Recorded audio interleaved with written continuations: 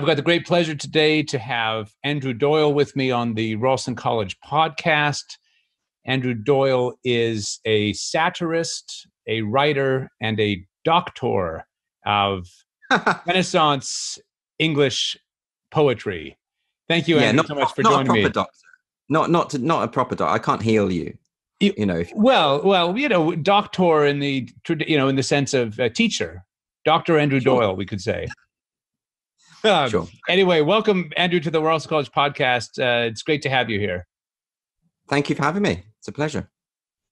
I alluded to your background in Renaissance poetry. Could you just sketch out for us a little bit of your academic or educational background, and we can sort of go from there into various other questions? Yes, I, well, I was all set to to be an academic. I was sort of going that in that direction. Um, I was a I, I completed my doctorate at Oxford University, um, and at the time I was also a part time lecturer at the university. Um, and in and my my my field was uh, Renaissance poetry. Specifically, my doctorate was about Renaissance poetry. So I taught the undergraduates the Shakespeare module at, at the college, Wadham College at Oxford um, and I also taught modules on I think uh, tragedy and um, it's going back a bit now um, um, and theatre, modern British theatre, I think. So um, uh, so I was all set to do that, and then um, and my my background academically had been that I'd done my undergraduate degree at Aberystwyth University. And then I wanted to do a master's degree, uh, but specializing in Renaissance literature and uh, the, and I really wanted to stay at Aberystwyth. To be honest, I love the place, but they didn't offer that course. So I went to York, and I was able to do that because I had a scholarship from York. Um, and then I was funded by the Arts and Humanities Research Board to to write the um, uh, doctoral thesis at Oxford, um, and that was good for me because I wanted to focus on uh, um, manuscript work, a lot of manuscript work. So the, the Bodleian Library is by far the best place in the world for early modern manuscripts. So, uh, so that all worked out really well. One of the first things I did when I got to Oxford was learn how to read the handwriting, 16th century handwriting, um, and that was great. So that so that was my trajectory. But then I started feeling disillusioned with academia at Oxford, and I and I felt that I didn't want to do that as a career. Actually, one of my supervisors explicitly warned me not to do it. He said, "You'll run around. You'll be end up an elderly man running around the quad, screaming, "Why have I wasted my life?" That was his view on these things. So, um, I, and I, I thought that was a bit alarmist, but I, I, but it did tap into something that actually I wanted to be doing other things that were maybe a bit more creative rather than just writing about other people's work. You know, a bit like the professor in Uncle Vanya. You know, this idea of I want to, I want to go and do some stuff for myself. So I, I moved to London and I, and I started putting on plays and writing comedy things mostly, um, uh, and ge- and gradually sort of drifted away from academia that way. But I ended up teaching at a secondary school because I'd run out of money and I, I I wasn't qualified to do anything else. So I ended up as a as a secondary school teacher for a number of years as well. Um, before I was earning enough money from comedy and and performance to give that up. So that's that's sort of my sort of vague background, I guess. Before we started uh, rolling the interview, we were talking a bit about the idea that language is uh, all there is, that uh, language is power, and all there is is language, no realities beyond that. Um, can you give us a sense of, of how you encountered that view in your doctoral studies? Uh, and then we can, you know, sort of trace its, its uh, trace the widespread and influential character of that idea in other ways. Well, I'd encountered that in my undergraduate studies. I mean, this was so built into academia of that era, of the sort of late 90s, early 2000s. It was so kind of built in. Uh, it was largely being promoted, particularly in English literature. You know, it was largely being promoted by over here the cultural materialists, over in America the new historicists. So, um, w- you know, in order to pass a degree uh, in English literature, you would need to understand and grapple with um, theory, and, and, and particularly uh, postmodern theory and post-structuralist theory, Foucault, uh, Derrida. Uh, these are the people who who um, popularized this idea of uh, that there is no reality beyond the language we choose to express our world, and that you know, and this this notion was so sort of built in; it was almost a kind of dogma. So you'd so you'd end up just it wasn't even really up for discussion. You know, I remember going to conferences and things, and people would just cite Foucault um, uncritically, as though he was. Um, I mean, I mentioned to you before we started recording. There's that book Saint Foucault by David Halperin, which is un, un, unashamedly, I mean, it describes itself as a, as a hagiography. It's unashamedly worshipping him uh, as this kind of deity figure. And that, of course, is not is not healthy. Um, I mean, there's a lot of interesting stuff that Foucault did, but there's also a lot of um, of stuff that doesn't interest me, and I, or a lot of flawed premises. Um, so I think uh, it was already built into to academia at that at that point, and I think what's happened now is what we're seeing is that stuff. This sort of stuff is a bit outdated, I'd say, but but it's filtering into the mainstream now. I think that's what's happened. That's why when you hear people talk about speech being a form of violence, um, you, you hear this very sort of censorial uh, attempt to control the way people speak because they believe that if certain speech is normalized, that's the word they use, normalized or legitimized, uh, then the world changes. People's ideas change because because language constructs absolutely everything. That idea is a, a, essentially an old post-structuralist idea. It's a it's it, it, it comes from there. It's just migrated into the mainstream somehow. That's the thing that I think we need to grapple with. And a lot of the people who who do buy into this faith-based position um, that language constructs reality, and not only that, that um, that um, um, I suppose uh, that we need to control certain forms of speech. We need to control it for the sake of social justice. This this all of this idea come, has these origins in academia, even though many of the people uh, perpetuating it don't know about those origins. They don't read uh, Foucault or Derrida or anything like that. They don't they don't go back to the source material they've just sort of imbibed uh, the essential ideas somehow. Um, so I think that's what we need to. I think that's why understanding where it's come from is is, is important in terms of um, tackling it now. Yeah, let's let's dig in a little bit further into the the fundamental character of this worldview. Mm. Uh, the I, I, think it maybe even goes back further in terms of its first articulation, maybe into the mid 19th century, into Marx and Feuerbach and other figures of that sort. I mean, when you think when when Marx says man makes religion, religion does not make man, and other things of that sort, the driving idea seems to be that the there is no realm independent of what we ourselves are creating. So it's a yes. fundamentally constructivist standpoint. Well no this is why it's been so readily adapted by the it was so readily adapted by the post-structuralists. That's exactly why. Because it lends itself to that esoteric worldview that almost religious worldview you know?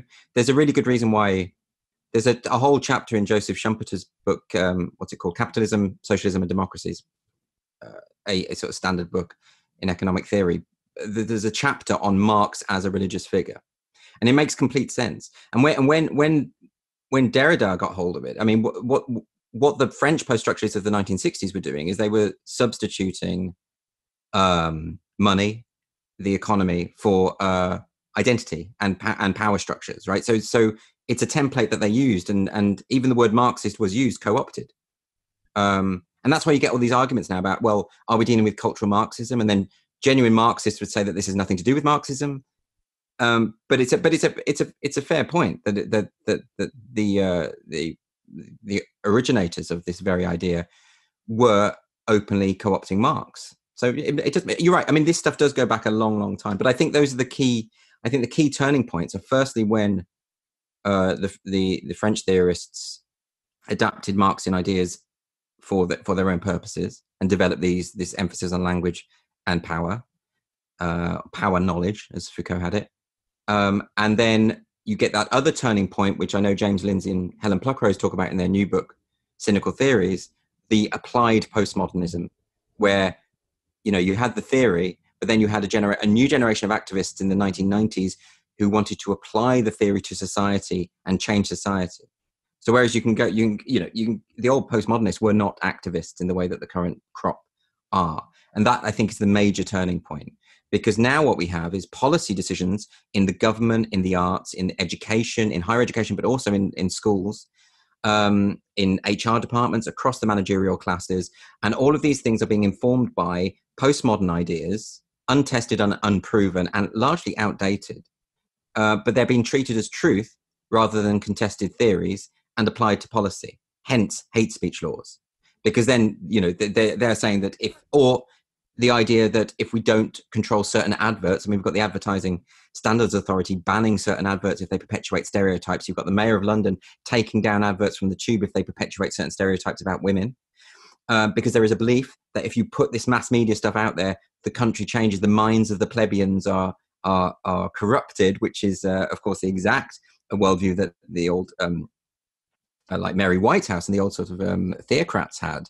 Um, but that idea, media effects theory, taken as gospel, right?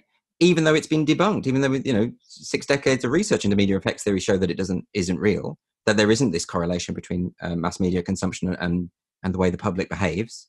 So we know that's not the and the direct the, the, the direct effects model has been completely debunked. But that doesn't matter because this is, like I say, a kind of faith uh, religion idea that is now being applied as truth. That's the problem.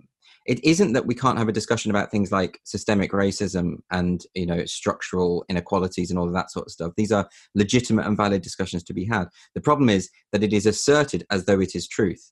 So the evidence lies in the assertion. So you can say you say britain is a fundamentally structurally racist and white supremacist culture and you go from there. Well no that's not a starting point that's a conclusion that you may or may not reach after much discussion and ev- evidence-based thought that's not happening. This skipping over the discussion bit and taking a faith-based position as the conclusion. That's that's that's the problem that I see happening, and I do see all of that coming from uh, the the problems in academia. That's why I think fixing the humanities and the social sciences is probably the priority. Although now I note it's infecting other uh, areas, of course, as well, like mathematics and science and that kind of thing. Yeah, there's no question that this is a worldview that is uh, uh, propagated by and through above all the university system.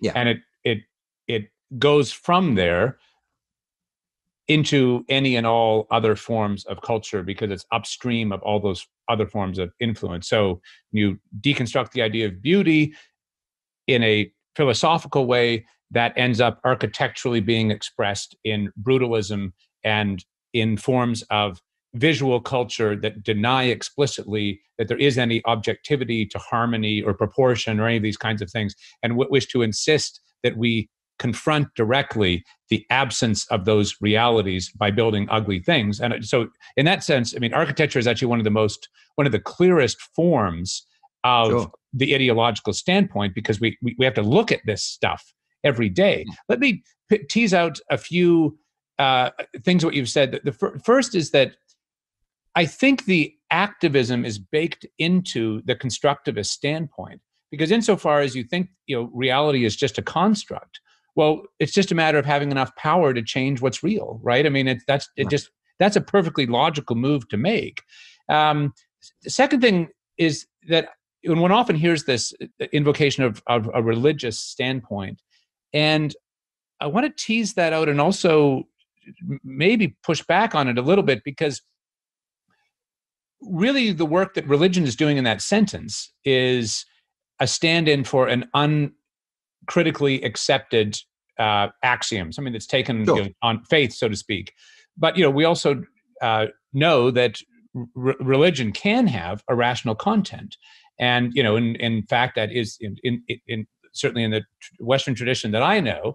I mean, the the uh, going right back to the Greeks and you know Socrates' relation to the oracle there is a discursive character to Greek religion that is taken up through certainly Christianity and Judaism at certain uh, periods, certainly in uh, in the other religion, religions of the book, Islam, for example. So, what I'm trying to get at is that there, religion can be something that is simply uh, non-rationally uh, uh, believed without any discursive or conscious grasp of the content, whether it's true or false or whatever.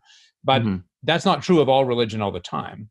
No, and call the social justice a religion largely as a rhetorical device, okay? Because because I think in order to tackle it, it has to be accessible and understandable. And I think that's a, a good way, a good way that that most people will just immediately understand is is that the, fundamental principle being um, uh, a group of powerful individuals who are not the majority, but they are the powerful elite, uh, are expecting you to accept things that are true that are not true, and expecting you to articulate the idea that these things are true uh, without evidence.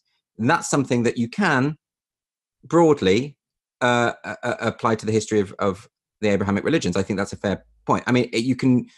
I'm not trying to suggest that that uh, major religious practices are devoid of rationality or thought, but there are um, quite obvious examples where uh, rationality is a hindrance. I mean, if you take, for instance, and, and more moreover, the expression of a faith-based position is expressed expressed through rational terms. So, to give an example, so let's take transubstantiation. Now, the, the way that this is explained that the, the the bread that you see before you has literally become the flesh of Christ, right? Not figuratively, not symbolically. It is literally the flesh of Christ, but it still looks like bread and it still tastes like bread and it has the quality of bread. Now, in order to justify this, uh, you get this concept of transubstantiation, which is drawing from an Aristotelian principle, the idea of, of, of that everything has substance and accidents. You know, and and what has happened here is that the substance of the bread has changed, but the accidents its breadness remains uh, the same. Okay, now that's quite a convoluted way to to to expect people to accept what is effectively a magic trick, accept that this has taken place, and it's dressed up in in such sort of difficult terms and and and and esoteric terms that it's likely to evade a challenge from most people. Now, th- this is this is something I think is very important about the current postmodernist social justice movement is that the jargon is deliberate. The the the the use of of terminology that is not understood. The fact that when they talk about anti-racism, they don't mean what everyone else means by the phrase anti-racism. Everyone else means to be opposed to racism. They don't mean that. Okay, they mean something very much more specific, uh, which is about a recognition of the no, uh, the notion of, of white privilege, uh, the notion of systemic racism, and that and that if you are not being actively opposed to that original premise that you may or may not agree with, then you are not being anti-racist. So so it's things like that that partly they play on the ambiguity, they play on people's good nature, um, be- because who wouldn't want to be anti-racist, right? Um, but it's also designed to dress up something that's pretty flimsy. I mean, if you if you re- and this has always been the case. I remember reading Judith Butler's book Gender Trouble back in the 90s. You know, this sort of seminal work of queer theory, you could pretty much summarize what she's saying in a blurb, in a paragraph, if you want, if you chose to. She just has an incredible way of, of going on for 200 pages uh, and dressing everything up in the most convoluted, uh, obscurantist language, uh, and and and saying very little, frankly.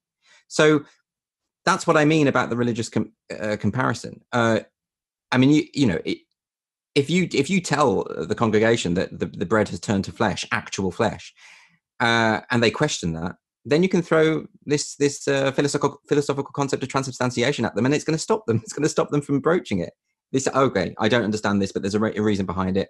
The big words tell me so, and then move on. So it's a it's a way of exercising control. I mean, one could have a long talk about the ways in which religion perversely uses philosophical standpoints uh, in order to, you know, pull the wool over the eyes in the way that you're su- suggesting. I'm not a scholar of 16th century 17th century theology, but there's certainly in, say, Richard Hooker's account of what's going on in the sacraments, there's a much richer account of that than comes to be portrayed subsequently. But my fundamental point actually is that in the Greco Christian uh, standpoint that develops in the West, what really is going on is the claim that truth is sovereign. And so there is no claim that cannot be inspected. I mean, you know, Aquinas was, was was was, if he had lived longer, would probably have, have been excommunicated for holding to the high view of of rationality that he mm. that he that he advocated. The whole Greek philosophical tradition emerges out of a philos. It is a philosophical reflection on the poetic uh, standpoint, you know, present in Homer and, and the and and and the other poets, and so it's a it's a it's not that the poets don't have anything true to say. It's that it's held in a poetic or intuitive mode which then philosophy comes along to say well here's what actually are the here's what the philosophical or universal truths present in that are. I think it's it's important to take these questions of religion outside of the context of the religions that are currently still practiced you know, like whether it's christianity judaism or islam because the various dogmatisms and absurdities and irrational modes of behavior by certain adherents to those religions can, uh, let's say, blind us to investigate the dynamic between, say, myth and philosophy, or you know, muthos and, and, and logos, uh, that are, is otherwise present in the history. And so the, the point I'm looking to make is a simple one, and that is that, but a deep one, and that is that myth, which is often the mode that religion can take, there can be true myths or myths that have truth in them. But those truths need to be articulated by and grasped rationally. You don't just say, oh, well, because Zeus says so, that's therefore right. we should do do whatever. You say well wait no we can give a rational account of what is happening in the myth and that's how we know it's true. Not because we've received it simply as a myth but because now we see that the story is giving rise to a deeper reality or helping us grasp a deeper reality. But i think that the, the, the point that i'm looking to make here is that that very process is the one that's denied when you deny any kind of sovereignty to truth or rationality itself. When you right. jettison that principle, all you're left with in the end is uh, power and the coercions that power can wreak in the world because you have denied that our thinking has any purchase on reality. In fact, reality has no reality. So there's nothing there even to know. I think you're absolutely right. And I'm not, I, think it's worth emphasizing that the comparison with religion is not an attack on religion, right? The attack of the, the, the, the comparison with the social justice movement, it's not, it is, it is, like I say, a rhetorical device to explain that, you know, it is the broad, the broad brushstrokes, the, the basic things like being told to express something that you know not to be true, the, the fact that they seek to excommunicate people who don't agree, they seek out heretics, all of these sort of qualities that you would associate with a kind of caricatured vision of what religion is but nonetheless, it is an effective way to to to explain those those basic ideas. Uh, I'm completely on board with what you're saying about the embedded truths in myths and the way that, say, you know, you can look at the the two creation narratives in, in Genesis, and you could say you could you could even debunk them on the basis that there are two contradictory narratives in the same book.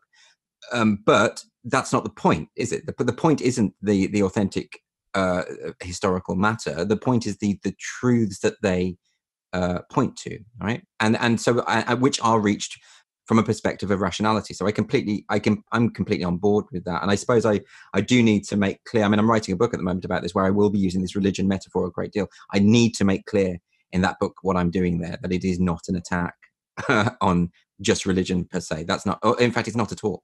Um, it's an analogy. I'm a, yeah. I I I completely get what you're saying, and I and I and I think I fundamentally agree what I bristle with a bit is when people wish to use as a synonym hmm. for used to use, use like to use, wish to use religion sim, as a, as a blanket synonym for uh, irrational beliefs and that's okay. that's that's that's that's that's just not fair either to the history of religion or of philosophy it it it can be the way in which certain people take up religious beliefs but that can be the way people take up scientific beliefs. It can be the way people take up any any number of beliefs can be taken sure. up in, in an unreconstructed and and irrational way. Whether those beliefs are true or not is is sometimes irrelevant to when the view is taken up without regard for its truth you have no idea whether it's true. And i think that's the more important point about this, isn't it? That that the it's the attack on the notion of truth itself that is the real problem. That's why we've seen in just in the last week all of this incredible these debates on Twitter about two how two plus two can equal five. You know, and and that, that you know this is not about. Uh, I mean, you know, and this is coming from um, major mathematicians at, at major academic university uh, institutions, right? So it's not really about the, the technicalities of advanced math, mathematics. That's not, that's not what this is.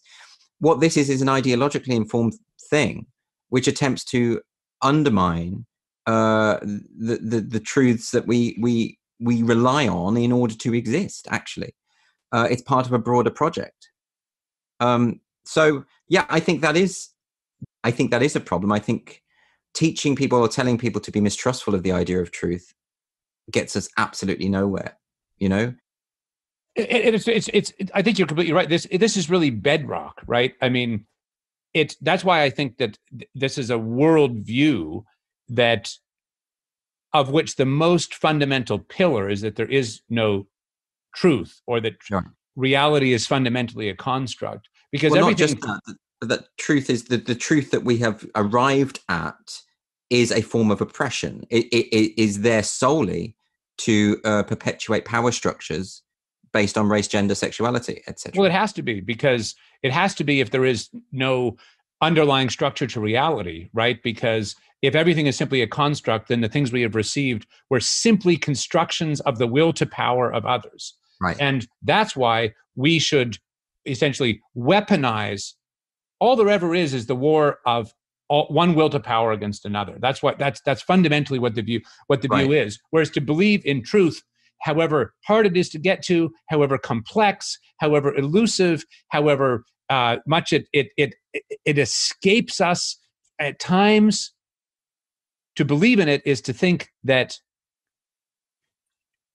there is a structure to reality which our thinking has purchase on. And I suppose you can rationalize yourself to that conclusion. But my, my point is that there, within that, there is something uh, that is ultimately being taken on belief at the heart of it. That, you know, and well, more than that, it's it's it's many, many years of people not just expressing uh, similar views, but but citing each other's views, and then and then they've built up this kind of illusion that this is a real thing, you know. And yeah, and I think I think, I, think I actually I should correct. I said you know to believe in truth, uh, that that is already, in a certain sense, to misspeak because truth is precisely that which does not need to be taken simply on the basis of belief, but which can be known discursively, rationally in its universality. And mm-hmm. so, truth is precisely that which has an inner illuminating logic that can be grasped and understood. Right. right. And trying to uh, erase that from civilization is such a self-defeating process. I mean, I can't tell you where where where this will go. Uh, but it is a form of intellectual anarchy. Uh, it, it, it, means that uh, as a society we are utterly uh, we have nothing left, and and the, the the I don't think the dangers of that can be overstated. Um, and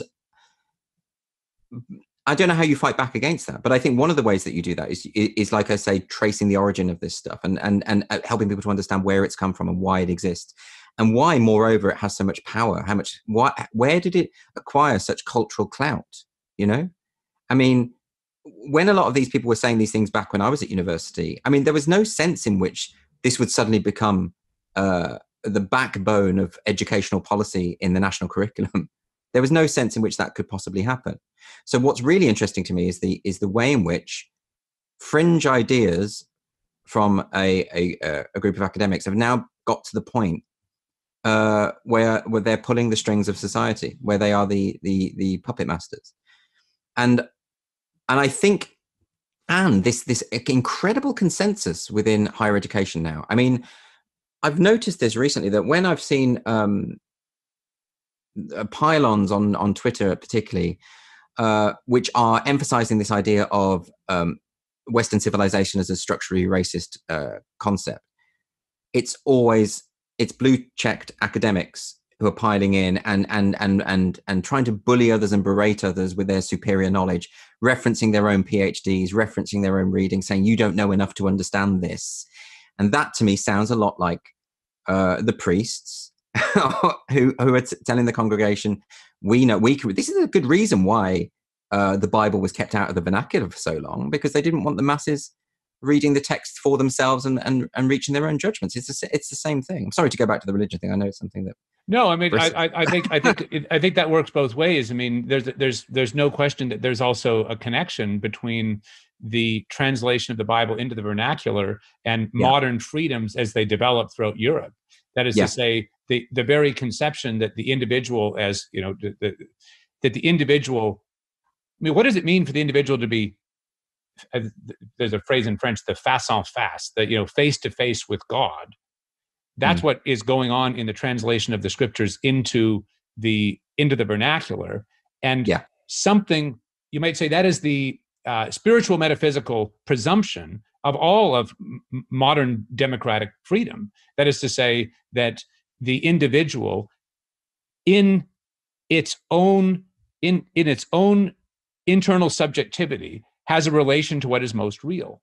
And you know, we can trans take this completely out of the the religious context. I'm simply trying to suggest that what's moving in that uh, fundamental claim is is the underlying uh, belief or presumption of all of modern subjectivity, right? and of course that subjectivity has its has its, has its whole long evolution in, at least in the west you know going back to the greeks through the middle ages and we, we these are complicated matters that one could you know that the whole history is is is is made up of but the the point is that our fundamental view about ourselves is that we have some relation to what's real that we ourselves can understand right and that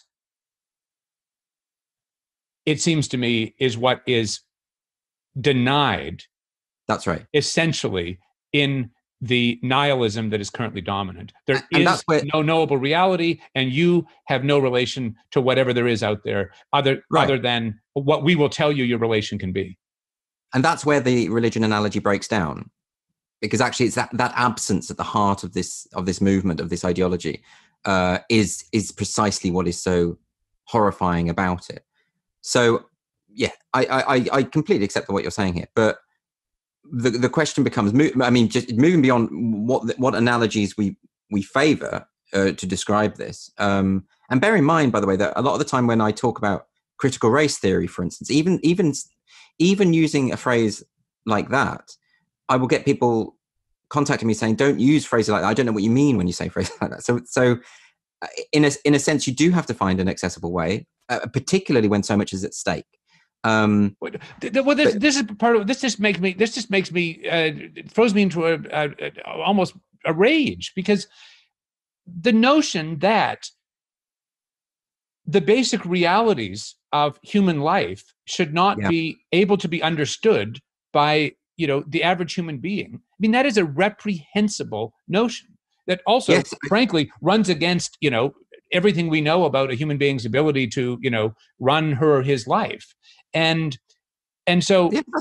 and this is right, right, right at the heart of the, the, the corruption in the academy i mean the notion that that work in the human i listen there's a big difference between the science and the humanities insofar as if you're a specialist in particle physics or you know the the the, the any other of the, the many subspecialties of, of the sciences it is true that you might be able to give a bit of an explanation of basically the field that you're working on, but you're not mm-hmm. going to be able to understand the scholarship written in those fields if you do not have a very serious background in those fields, which you could t- could take many many years to acquire, and also particular intellectual abilities that not that not everyone has. So I understand that the papers written about particle physics are not things that me that I, Stephen Blackwood, should be able to understand because I don't have the background in physics. Sure. That is not true for the humanities in the main. You can look at the the the most wonderful texts of the whole history of art history, or of uh, uh, architecture, or of history, or of any of the other humanistic disciplines, philosophy possibly accepted for reasons we could go into. But fundamentally, those things can be written about in a way that anyone who is literate can understand. Yes. And that corruption is is has consequences so vast that we can hardly imagine them and we couldn't imagine them if it were not for the fact that we're actually living in them in the deconstruction of our culture all around us I, think I think the rage that you are experiencing is is completely right. I mean, what what you've got to remember is that there isn't compassion and empathy at the heart of this movement. This is a movement that is works under the banner of social justice. Is not interested in in in, in actually advancing social justice. It is not a compassionate. It, it is something that will leave people feeling totally without purpose and meaning and completely soulless. That's what that's that's what it does. So I, I can I completely understand, and and it's also why you get this incredible what you're describing there, I suppose, we might call an attack on on history. And this is something I, I detected very early on, even when I was an undergraduate. And you know, you'd the, the, the books that they were citing and the articles that they were citing had, had all this shared worldview where anything that was written before the 80s anything that they dismissed as liberal humanism or biological essentialism or whatever and they, and they just wrote off centuries of scholarship. You know they just wrote it all off as being you know now we've come along uh, and we're all going to be quoting each other and giving this this this illusion of incontrovertibility because we we we all have the same ideas about the world and we're all advancing the same position. And we can completely claim that we are not building upon uh, and we have not inherited the knowledge of our forebears. That's that's a, an absolute absolutely disastrous perspective to hold. And this is i think a, a misunderstanding and there's a real mistrust isn't there about about conservatism and about the idea of of um, not wanting things to change. And that's not really what a culturally conservative person is saying. They're saying that things we do adapt and we do, but we build upon uh, the knowledge that we've inherited from the past, and we have to do that. Um, and so that hence all this attack on pulling down statues or uh, decolonizing curricula and removing certain texts that might be deemed offensive by the standards of yesteryear okay so all of that stuff is going on um, but i think it's a fundamental misunderstanding and i think uh, I would consider myself. I mean, I'm. I wouldn't say politically, certainly not economically, that I'm on the right. But I I share with George Orwell uh, a very deep uh, cultural conservatism. I think. I think it's important and essential uh, to to draw upon uh, past knowledge. Well, I yeah, I think that you're, you're completely right. And the fundamentally what the small c conservative view of tradition is supposed to be rightly understood is that we have received things that we may not completely understand. We don't perpetuate them simply because they're from the past. We must first come to understand them so we can think through well how does this relate to us today and what is what is the wisdom in this uh, and how should we perhaps change these things to be more adequate to our understanding a fuller understanding of what we are so it's very much the relation between the the the myth and uh, reason dialectic that we were talking about earlier, that these are received and perhaps not understood, but we shouldn't keep them just because they're from the past. It may be that there, and there are all kinds of perversities in the way things have been done in the past and so on and so forth. But just because we don't understand them doesn't mean there isn't deep truth in them that we would neglect at our peril. And so. The notion that somehow tradition is opposed to rationality is precisely the kind of false opposition that leads to throwing out the very inherited wisdom that would allow us to live more richly than we can through our own impoverished existential immediacy. Right. right. I mean, the, the, the idea that the Parthenon has an inherent beauty has not come about because of a conspiracy of, of dead white men who wish to, to oppress other cultures. It's something that there, there is a, a, a truth to that that we would do well to reckon with through through uh, you know reading through uh, through our experiences of art uh, through understanding all of this stuff that if you just if you just boil it it's so reductive like if you just boil it down to power if power i mean look i'm not saying that power isn't important there, there are power relations in every conversation right? But it's not everything. It doesn't control absolutely everything. It doesn't determine everything and certainly not in the case of art i don't think. Well uh, well i think no no one who knows anything about anything thinks that power isn't that isn't real or can't be manipulated right, or can't right. be used to destructive and terrible ends. What is fundamentally at work here though is whether truth is subject to power. Right. And and and that's the worldview that i think well not only do i reject i think it can be shown to be untrue. Right.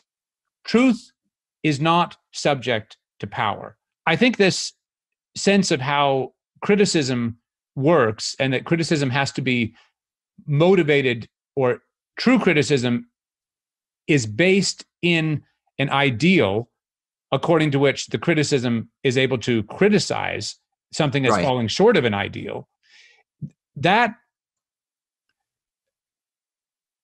that dynamic is precisely the one that is denied by those who would deny truth so i mean it's often pointed out that to to assert there is no truth is already to enter into a contradiction because Yeah. you yeah, are making an assertion about things that you say is transcendent that undermines the very you Right. say, But thi- truth of the statement what- you are making. this is what winds me up is that so much of the of the social justice ideology depends upon the very things that they seek to de- decry you know so much of it you know i mean there there there's this emphasis on on the the destruction of grand narratives of tradition of the grand narrative say religion or science or whatever and they're advancing their own grand narrative and this is their narrative their narrative is that they are on the right side of history they are uniquely qualified to detect the oppressive power structures that dominate our lives and they're the ones that will lead us out out of this to the promised land so it, it, it is by nature incoherent. But more than that, the, the incoherence is celebrated and often deliberately advanced. I mean, you take it right back to the to to to the post-structuralists. They were doing that deliberately in what they wrote, because part of the point is the incoherence, because there is no truth. But and yet they're expressing that as though it is true. I mean, it, it doesn't make it doesn't make sense even on their own terms. Yes, and I think that's where that's also where the answer lies, though, because and this is where I think I mean this is what the whole Platonic corpus is about, is about bringing out of the questioning the interlocutor, the back and forth of the inter, of the of the of the dialogue itself, to bring out that our very thinking has a relation to realities that transcend us. Right. And so I, I think this is one of the things that needs to be said about the in relation to various protests of persistent inequalities or uh, uh, of uh, racism or any any other form of injustice is that Yeah. to point those very things out depends on the assertion of of an ideal that Mm. you can only know what is straight and sorry we only you can only look at what it, say that something is crooked by view of what is straight. You can only point out injustice with with in, with respect to a, an ideal of what justice is. And so the critical stance precisely depends on is already implicated in and let's call it an intellectual conceptual metaphysical reality according to which the criticism has its bite. And you say gosh you're right. That was wrong it was wrong in relation to what would have been right it, because it works. That the, the That's right. process works. The, the, the there's a reason why the Socratic method is, is an ideal when it comes to argumentation because it does. But if if you approach it merely as well, in this situation, how is racism or power manifesting itself? If that's your, if that's how you approach any kind of dispute, then it- you're sabotaging everything. what were you looking to accomplish by creating the character of Titania McGrath? I, so I don't think it. I don't think it was as orchestrated as it seems. In insofar as I, I mostly did it to entertain myself. I think, if I'm being honest. Okay, so because I didn't, I had no idea the the account would take off. I mean, I just started on Twitter for obvious reasons. Twitter is the battleground that that social justice activists use to disseminate their ideas. So it makes complete sense that if you're going to satirize that, do it on their own turf. And so that's Twitter. Um, and then she started getting th- thousands of followers, and I didn't, you know, and and and then I got a book deal to write as her, and then a second book, and then a live tour, and all this. So it sort of exploded out, uh, you know, and then it. But but that's having said that, uh, there was all there was always a thought process behind the satirical points being made, which I suppose is what you're getting at. Um, and that thought process is to do with, uh, a ti- I, I- I suppose, uh, a standard satirical uh, conceit of um, reflecting uh, the vices and absurdities that that I, that I perceive um, by emulating them, exaggerating them sometimes, uh, treating them uh, hyperbolically in, in in my form of expression, or or trying to tease out those contradictions that we were talking about, the, the fundamental incoherence of the movement that we we've already discussed, by replication of of their own viewpoint. That that was sort of the point. That's why sometimes Titania's statements are indistinguishable from what actual social justice activists say, and sometimes they are pushed into the realm where they're not, where they're even too absurd to be believed. Although I ha- I do know that sometimes when I do that, uh, they end up catching up. That happens an awful lot. You know, um, I, I I wrote a tweet as Titania talking about how in order to prove any white parents should prove that they're not racist by sending their teenage daughters on unaccompanied walking holidays in the tribal regions of northern Pakistan. And then Forbes magazine, I think two weeks later, published an article doing exactly that. Why northern Pakistan should be on every female solo traveler's bucket list. That was the headline. Now, th- now I'd written that knowing that it was an absurd proposition that actually even a social justice activist wouldn't say, and then they said it, and that's happened to me about six or seven times now. Um, so in that respect, and that isn't to be self-aggrandizing or suggest that I have the power of prophecy. What what I'm what I'm saying is that ultimately, if you know this ideology well, and if you've if you've read the source materials or the foundational text, if you want to call them that, if you know it well, you there is nothing too absurd that they will not eventually latch onto. Because the very idea of the denial of objective truth means that absurdity is a natural corollary, I think. Yes, let's let's stay with this a bit longer, Andrew, because I think there's very, very deep and and you know, as it were fundamental things here. You, know, you say you started Titania partly as a way of amusing yourself. Um, but even that's worth thinking about because you know, humor is one of those things that you know we all think we understand and then you until you start thinking about it you say well why is something funny or what is going on when something is funny um, i've thought about this uh, with young children you know when you're making a, a, baby laugh and it could be a very simple thing where you go over here and then you go here and then you go quickly over here and they go oh yeah. you know and so even for even for the infant humor depends on a comparison right between what i thought was going to happen and then what happened yeah. and that there's a perception that that that that uh, difference is funny because it's against expectation yeah i think all humor depends on that consciousness of how something is different from what it with that to which it is being compared yeah. and this comes into satire i think because satire fundamentally depends on the the listener of the joke coming to perceive precisely that distance between the way someone is acting and well and then the question is what? And i would say in the case of satire it's somehow in relation to their own declared principles. We one of the things that's often much misunderstood about humor is that humor is fundamentally on the side of the oppressed or the power or the the the less powerful. It's mm-hmm. actually a way of claiming power over, in a sense, the person who is abusing their power by pointing out that very contradiction. So you know, it's it's you know, it's like it's not it's not funny to make fun of someone with you know uh, with Down syndrome. That's just right. mean.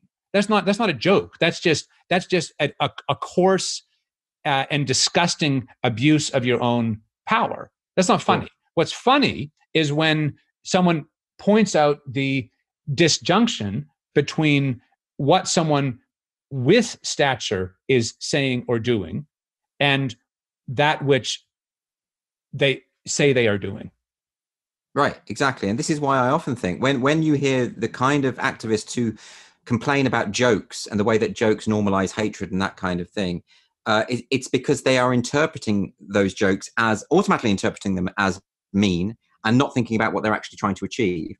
And, I, and, that often makes me think that maybe this is because they have a mean streak themselves. That they're, they're, they're so used. I mean, I don't want to speculate about what's going on in people's heads, but there is that quality about it. Like, why would you? Why, when a comedian jokes about a tragedy, say, why would you jump to the assumption that he or she therefore revels in that tragedy? why would you do that unless you yourself have that quality that your your instinct is a mean instinct is a vicious instinct because because no comedian does this you know i mean even basic things like after 9-11 when when people would be texting each other with sick jokes about 9-11 right and part of the joke was was an acknowledgement that you absolutely shouldn't laugh at this part of the reason why it, it created a, a, why humor can be created out of that it is a, means to reinforce the, the that it is a tragic event. That's part of the point.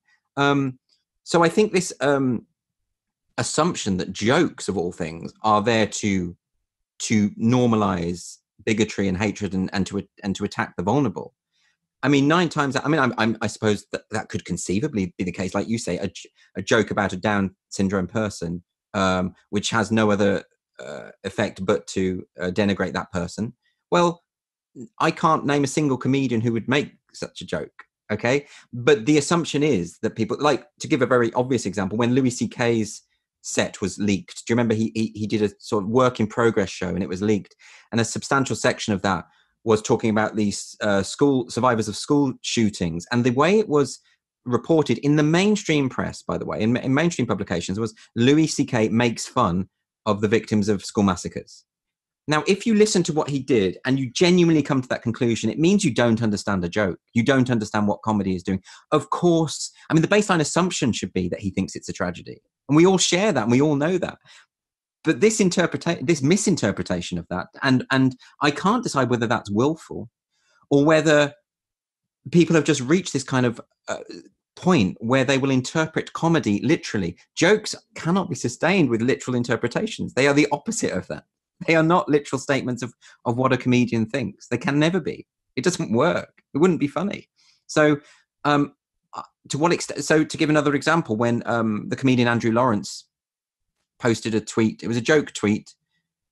I, am going to get this wrong, but let me try it. He said, um, uh, "There's." He, he, pointed out the disparity in suicide rates between men and women. That more men uh, commit suicide than women. And he said, if feminists really cared about equality, they would have to even that up by killing themselves right now then there was a i'm not doing the joke justice because that's not quite but that was the concept behind the joke and then there was a petition by a group of activists calling him for him to be banned from tv banned from radio banned from the bbc on the grounds that he was inciting women to kill themselves now the only way that you can think that i mean you may not like the joke and that's fine you may not think it's funny you may think it's distasteful and that is a reasonable uh, response to have I, and even to be offended that is completely reasonable but to make the leap that this comedian is therefore deliberately and willfully trying to incite women to kill themselves.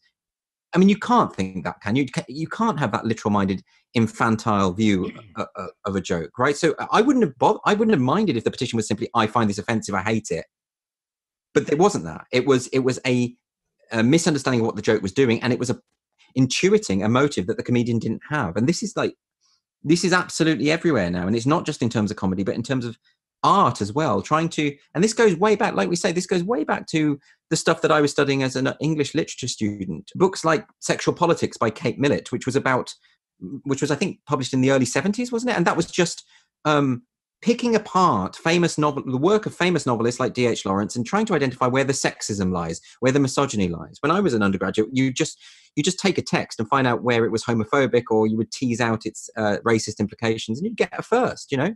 And that's that's this thing, this sort of moralizing view and this attempt this is this is at the heart of the deconstructive approach isn't it? That you that you you you find what the what the uh, what the artist or the creator is doing what power structures is that person attempting to uphold what that person secretly thinks and that's that's why and like i say these things die um, uh, uh, become part of mainstream culture now which is why whenever you get into an argument on Twitter with a social justice activist, they will always tell you what you are secretly thinking. They will always tell you that they know what you are secretly thinking. That they have this kind of um, uh, access to your private thoughts. That that fundamentally goes back to what we were saying earlier. That if there is no truth, there is no independent structure to reality. Yeah, everything is only a manifestation of a will to power. And so right, exactly. that, that's why Cynical Theories is a great title for this uh, book you mentioned by Pluckrose and Lindsay, because the standpoint of cynicism is fundamentally that. It's saying, right. no, there is no, there is no deeper reality here. There is no authenticity. There's no sincerity. There is no truth or beauty or anything like that. It is only ever a manifestation of a will to power. And if you're not acknowledging that, that's just because you don't know what your actual will to power is. So it's it's it's to deny the most the, the bedrock of human subjectivity which is right. that it is connected to the the whole wonderful complexity and often terrible nature of reality itself. No one says this like, is easy or, or simple. It's it's it's the deep complexity of the real and like, like you say this is why intent is not considered important now. This is you know this goes back to roland barthes and the death of the author the idea that it doesn't matter what as a creator you're intended to achieve uh, what matters is the uh, the perpetuation of power structures that uh, that results you know? If you i mean that's why you'll say even with a, a joke that people attack or that people find offensive sometimes they'll say this person is trying to stir up hate um, or sometimes they say it doesn't matter what the intention of that person was. This is the impact of what what what will happen anyway because this is my truth. This is my interpretation of what that person has said. And and you cannot denigrate my truth. Um, eh, yeah I, I think that's why teasing this stuff out is quite important because it affects it has an impact on the on the arts. It has an impact on the way in which we can create the things that we can do. Um, be, because it because it has this insistence on on literalizing absolutely everything. Um, i mean i can think of some some specific examples. I mean, to, to, okay, so to take an example from, I did a stand-up show in at the Edinburgh Fringe Festival a couple of years ago, where a woman stood up in the show and tried to stop the show, com- complained vocally because she perceived that I was being misogynistic, and I wasn't being misogynistic. I was, I was mocking the, the then leader of the country, Theresa May, the Prime Minister, um, and my persona on stage is quite a catty, waspish kind of on stage. It's a theatrical. Uh, you know, I wouldn't, I wouldn't slag off Theresa May's appearance as Andrew Doyle as a person. I wouldn't. I don't do things like that. My my persona on stage does because that's that's part of what he is. He's this waspish, catty character. Um, I said that she was starting to look very haggard. I said that she was starting to resemble a, an NHS poster warning about the dangers of dehydration. That was the that was the joke, and she took real offences, even though I'd been doing similar things about male politicians. Well, That didn't matter. So she'd interpreted this in this way, misinterpreted it. Um, and then what what I did was, I mean, what I should have done actually is, if if she was saying that I'm a misogynist because of this joke that I'm making, what I should have done in character was to actually explicitly become a misogynist, explicitly say misogynistic things. I should have that would have been the more theatrically interesting thing to do. What I actually did, I think, was explain the joke, which doesn't make doesn't help because then it's no longer funny. But in retrospect, that's what I should have done. It would have been much more theatrically interesting. But if you approach stand-up comedy or any art form from a literal mindset, you can't appreciate the theatricality of that. Maybe being offended and being uncomfortable and being shocked in a, in a co- comedic context is actually quite an interesting thing. Is actually something that that we can. There's a purpose to it, you know, and it, it's it's a, a it's a bad faith interpretation of the comedian if you think that all they're trying to do is is be mean or be nasty. I mean, that's maybe there are comics. Yeah, yeah well, that's why I, I think Andrew that there there's a there's a there's a metaphysical underpinning to humor. And let, just let me spell this this out tell me what you think. You know this is one of the reasons it's so important to be able to make a joke about something tragic is that to be able to to laugh at something let's say something terrible happens in in, in your life uh, diagnosis medically or or a, a loss of some some some kind. I mean, we're all living in the midst of suffering of various kinds. I mean, life is finite, and to be human is to confront the the the immense difficulty of our finitude, and yet to be able to laugh at at something terrible that has happened to us. I don't mean laughing at something terrible that's happened to someone else, in that di- di- uh, diminishing way. It is, in a way, to be able to reclaim our own wholeness from that tragedy. It is to be oh, able to I- transcend that which has been done to us to take an active an active reclaiming of ourselves and to if that is possible it must mean that reality itself enables that reclaiming and that reality is not something a zero sum uh, uh, thing looking to obliterate you, and either you claim your power and hurt others or you will be hurt. It is actually to say, no, there's a non zero sum nature to reality itself. And my being able to laugh at this is a demonstration or incarnation of that. Sure. I mean, a, a, repudiation of reality means that joke humor itself uh, cannot work anymore. And that, that idea is so key. What you're describing there is is so key to the way that we uh, navigate life and existence as human beings. I mean, I, I, suppose it's because I've I've experienced it all my life. I mean, I have family, and you know, obviously my family are from Northern Ireland, and they lived through the Troubles, and they often joked about. I mean, I, I've heard members of my family joke about some quite harrowing things that happened to them. You know, um, and that is a way that you, like you say, it's a way to claim a kind of not to let yourself be the victim anymore. It's a way for you to claim control o- over exactly. a situation. Denis exactly. Leary used to talk about that. Denis Leary used to do joke stand-up routines about cancer and things like that, and he'd get a lot of flack for it. Um, again, because the simplistic interpretation is that you're laughing because people are dying of cancer, which is of course not not the case. But he said that people would come up to him afterwards and say to and give requests, say like, "Oh, I've had testicular cancer. Could you do something about testicular cancer? Why didn't you do that?" Almost like they wanted to own this as well.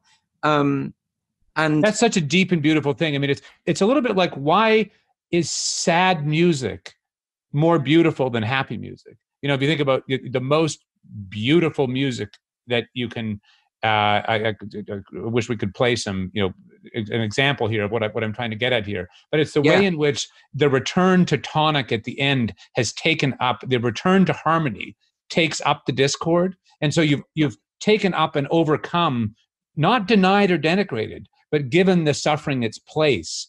But it's been transcended into a deeper and more coherent standpoint. I mean, that's that's what that's what laughter and in a certain sense all knowing is is a is a is a making comprehensible of the otherness and difficulty of experience right and and in particular the reality of death like you say the, you know there is something funny about being the only creature on this planet that is aware of its own mortality. There is something funny about that because we we carry on life as normal. We do all the things that we all the mundane things all the paying of the bills all the going to all the stuff that ultimately with the recognition that there will come a time where none of that will matter and we will we will be nothing right? So that, that that's a funny thing isn't it? I, I, I think there's something quite hilarious about that the, well to be able to laugh at that is actually to transcend in a certain sense to transcend death.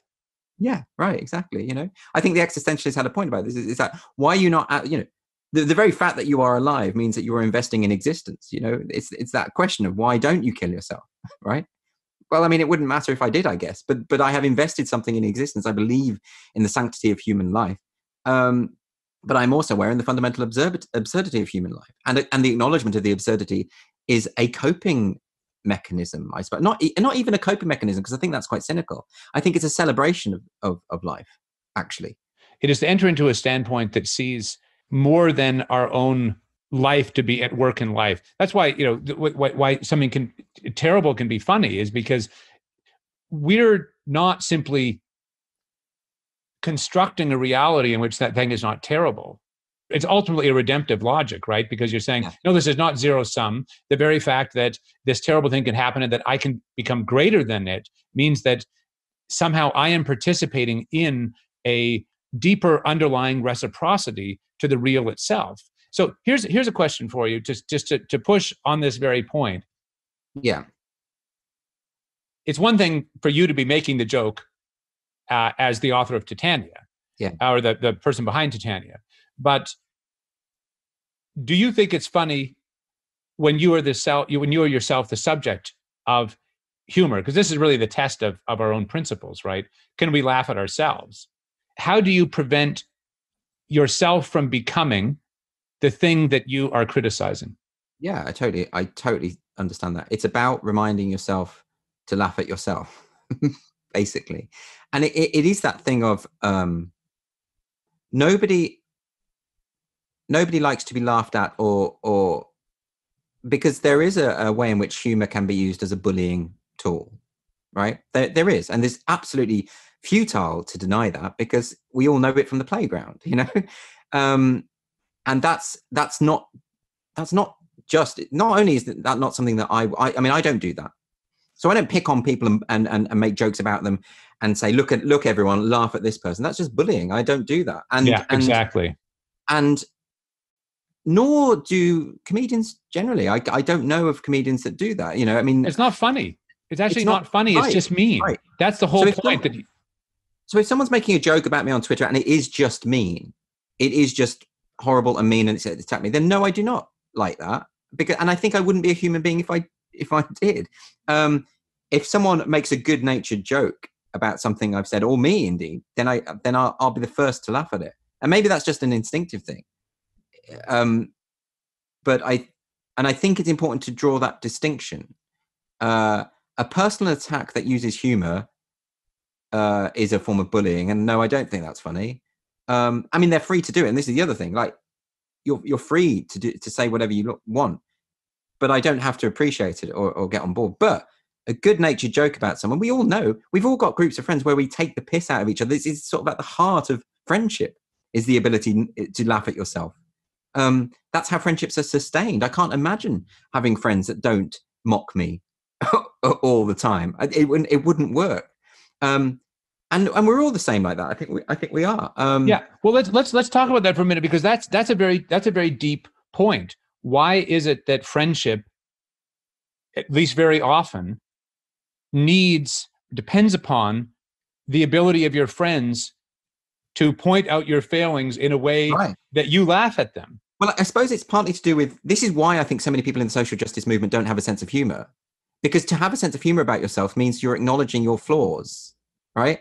And it's such a totalitarian instinct that they don't believe they have flaws. And they, they have such a utopian worldview, they think they've got all the answers. And that is not compatible with a sense of humor. You know, that's what that's what that's why you see this very po-faced thing. That's why Titania McGrath is such a po-faced. The image of her, the face uh, that my friend Lisa put together for me, is po-faced. She cannot laugh. She's never laughed. I think she laughed once as a child. She regrets it. You know, so there's that. That's that's what I'm getting at. But it's interesting what you say as well about that distinction between humor used to bully and humor or satire used to expose a vice or a folly. So uh, I had a recent experience which um, might help to illustrate some of the points you're making. If it doesn't, just you can cut it out of the conversation. It might be it might be a red herring.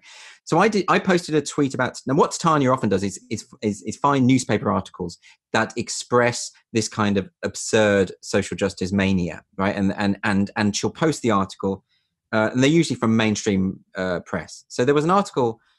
it was from something like the Telegraph, like a major uh, broad broad broadsheet paper in the country, a major news outlet and I'm, uh, I did a screenshot of the article as she normally does and made some joke about content of the article. I can't remember exactly what it was. Now, the person who wrote the article, because their name appeared in the screenshot, because obviously they wrote the article, uh, then had some unpleasant attention from people on Twitter attacking her for her absurdity, right? And then she sent me an email saying that she she was feeling bullied and that she, she was feeling attacked and that I'd I'd uh, initiated the bullying, right? And I responded to her. She didn't respond to my response, but my, my the point that I was making was that I, it, it, this is not an. There is a, there is a difference here. I did not post that joke in order to mock her or attack her or to or, or to get people to bully her.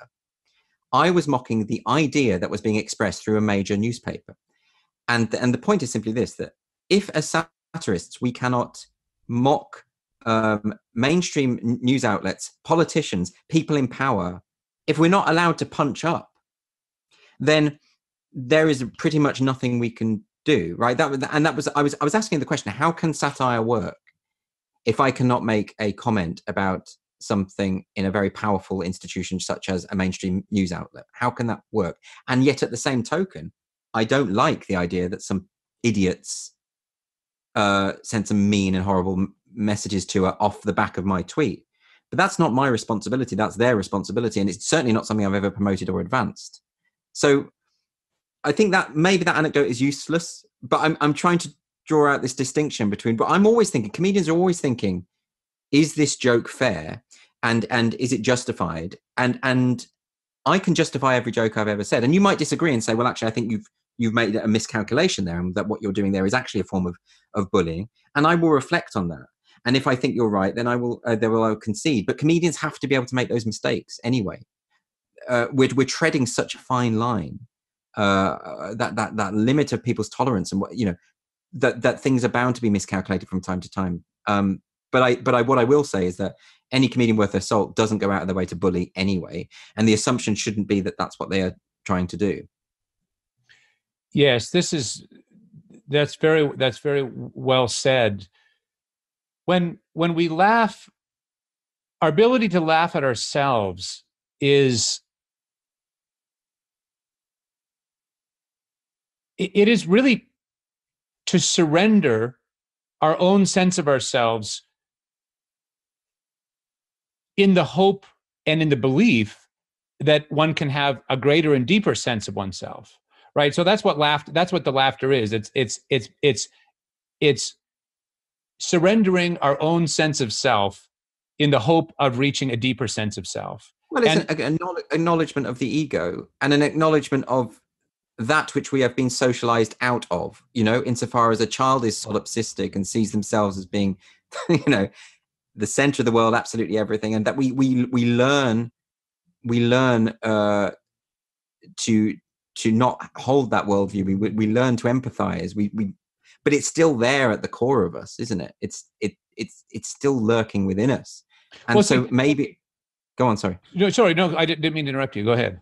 No no go ahead it's fine. I think i well, finished. to, to, to say not to be able to laugh at yourself is fundamentally to say that your it's a it's an it's a fragility of your own subjectivity right? That is unable yes. to is uninterested and unwilling, and in fact, in a certain sense, doesn't even believe is possible to engage in a deepening movement of your own uh, self knowledge. And that's why I think that the repression of humor is part and parcel of this underlying nihilism, because, and, and that's why it's, it's absolutely related to the denial of, of, of, of truth itself, because it's, it's very much of a piece to say that I can't la- to not be able to laugh at yourself be- because you don't believe anything can come out of the exposure of your own failings mm. is very much the same as to refuse to engage in a discussion that will show how your own views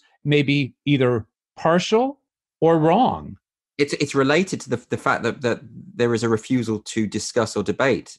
Yes. Uh, uh, yes. Because to open amongst the activists, if they if they open their ideas up to scrutiny, the ideas will fall apart and collapse. And that's what and and and it's tied into this utopian worldview and this inability to acknowledge that one, all of us, are often wrong about an awful lot of things at any given time.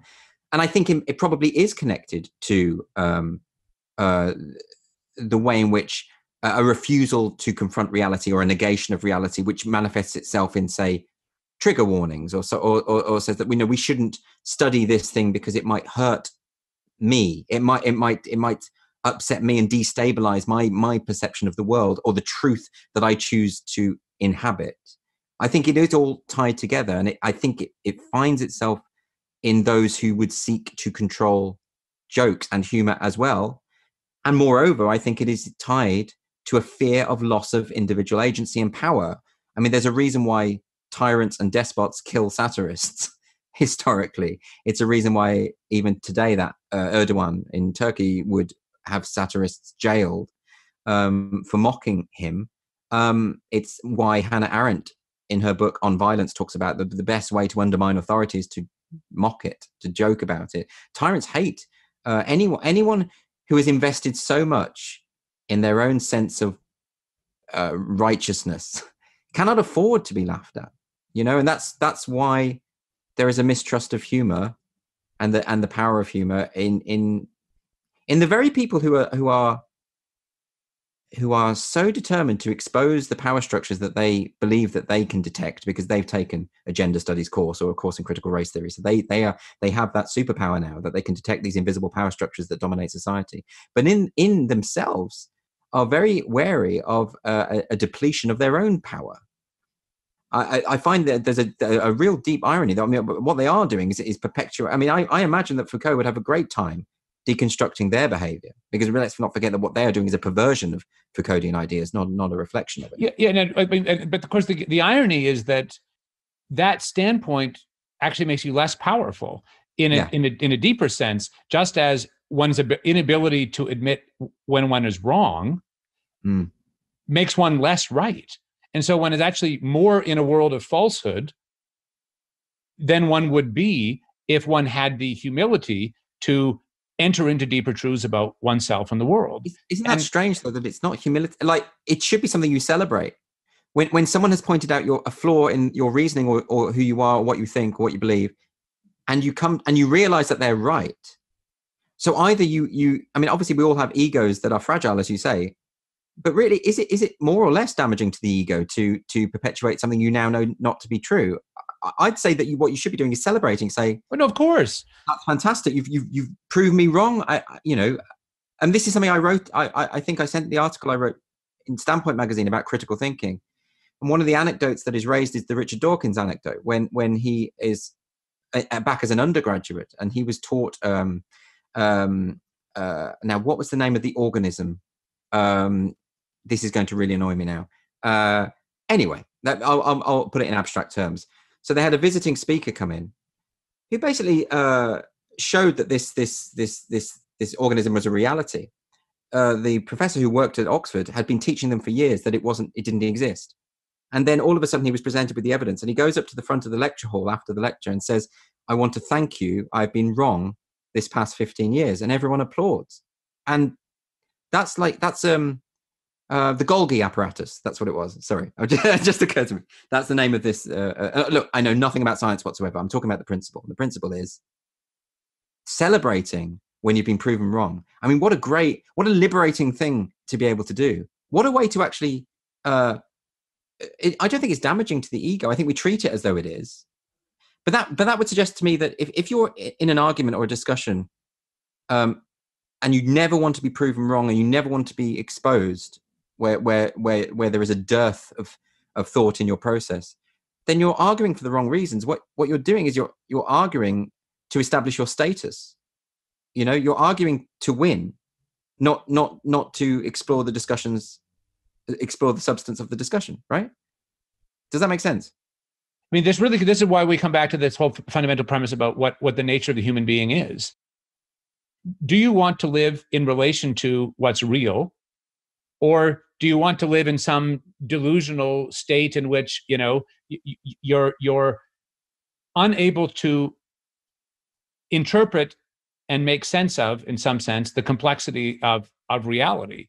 I think this is an absolutely critical point because at the heart of this, I mean, if you say, well, I, you know, if you're unable to laugh at yourself, if you don't, you, are this mm. wonderful anecdote you've just told about uh, Richard Dawkins and the professor who who was thankful for having been corrected Publicly about long, what's that? you know, potentially publicly humiliated in front of all of his students that he'd been teaching about this about this organism for years. So you could interpret that as a form of humiliation, or you can interpret it as something positive, right? That's well, that's yes, and that's why that's why that's why that's why the the, the at, at the bedrock of this is a whole vision of what of what human subjectivity is in its relation to reality. Because yeah. If you think this is a zero sum game in which somehow it's all about your own truth, well then of course that's going to be threatened if it turns out that you know that that your uh, limited standpoint was mm. not the true one but if actually you think that your subjectivity is constituted and more fully constituted by a fuller relation to what's real well then you you rejoice you say well gosh i don't want to go for another second of my life deluded into thinking something that, that is is is is is is false is true. And well, so maybe, yeah go ahead. No well i'm just going to say maybe, maybe this accounts for the sheer venom uh, that i that i experience from people who are angry about the titania character. Because i think maybe it's to do with the fact that she does expose something um, about their worldview that is on the face of it ridiculous. Maybe what's happening is people are recognizing it. Maybe maybe maybe what they see maybe they can maybe it's having that effect you know? Because otherwise i wouldn't be able to account for the the the vitriol. I wouldn't be able to account for it. You know if i hear a joke and i don't find it funny then i just don't laugh and that's the end of it. What i don't do is go on twitter and call someone a, a fascist evil ugly nazi scumbag who deserves to be killed or thrown in a volcano i had. Um, and you know and the threats actual threats that get emailed to me like that, that kind of level that would suggest it's having an impact, actually, that maybe they're starting to rethink and it's uncomfortable. It's what um, Peter Boghossian and James Lindsay wrote a book called How to Have Impossible Conversations. They talk about this idea of identity quakes. I don't think they originated the term, but they talk about it really eloquently. And the, the idea that to, to have something that is so inherent to your meaning and your identity as a human being destabilized is an unpleasant thing. That's why when someone persuades you that you are wrong about something, and you have to let go of something, it's almost like you're killing off a part of yourself. It's never easy to be dissuaded. It's never a comfortable, um, and particularly when politics is so wrapped up in identity, as it is now, that the idea of being left wing or right wing is now not just a, a, matter of perspective, but is, is something that is considered integral uh, to one's uh, sense of self, right?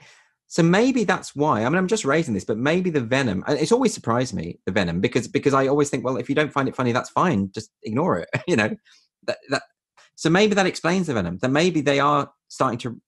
Maybe they can see the point of her. Maybe that. Maybe they. Maybe they get it, and that's why they're upset. Well, this is why I think you're satirical work is so important because it's not a private. I mean, it's not a narcissistic. It's not a. It's not an act of narcissism or uh, uh, self-congratulatory, uh, uh you know, uh, uh, egoism.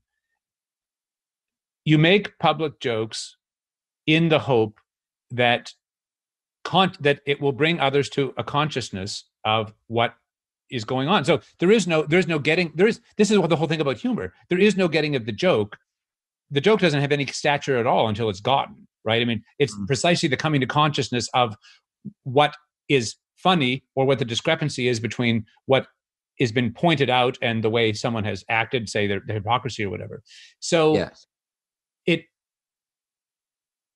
I take it that you have adopted this satirical standpoint precisely out of a you might say this i know many will disagree with me here but it's a, it's a profoundly good faith stance yeah because you are 100. actually believing that those that you are uh, satirizing yeah. are capable of coming themselves to a more adequate more complete standpoint it is a fundamentally optimistic project. Yes, I think I uh, returned to uh, W. H. Auden's definition of satire, a distinction between satire and comedy, where he talks about satire being angry and optimistic. You know, it, it rails against these things, but it fundamentally believes that it can change, and we can change for the good.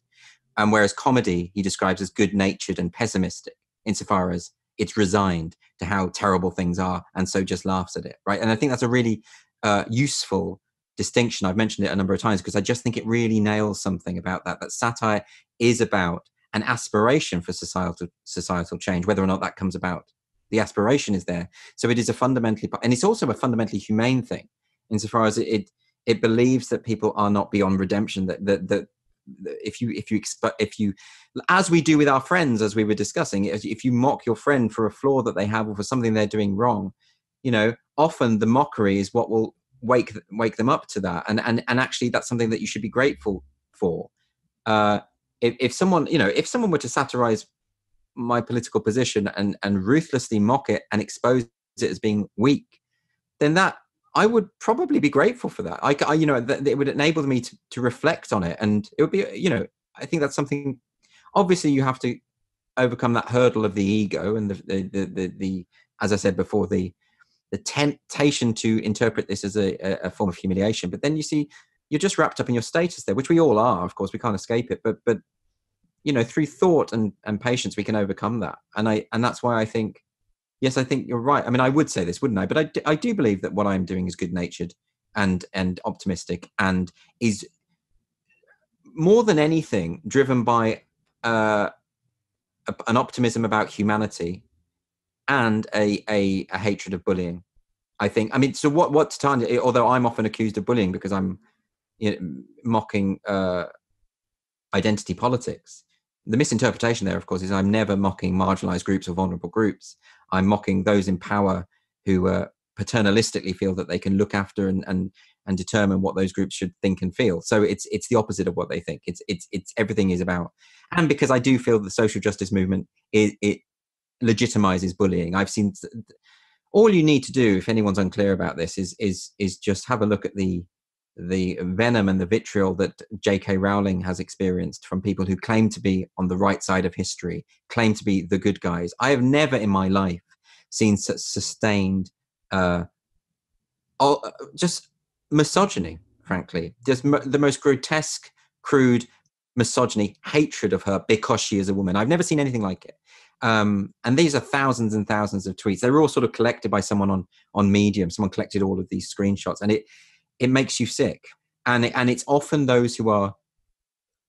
That's that's the danger I see in the social justice movement is that it bullies people from a perspective that it thinks it's being compassionate.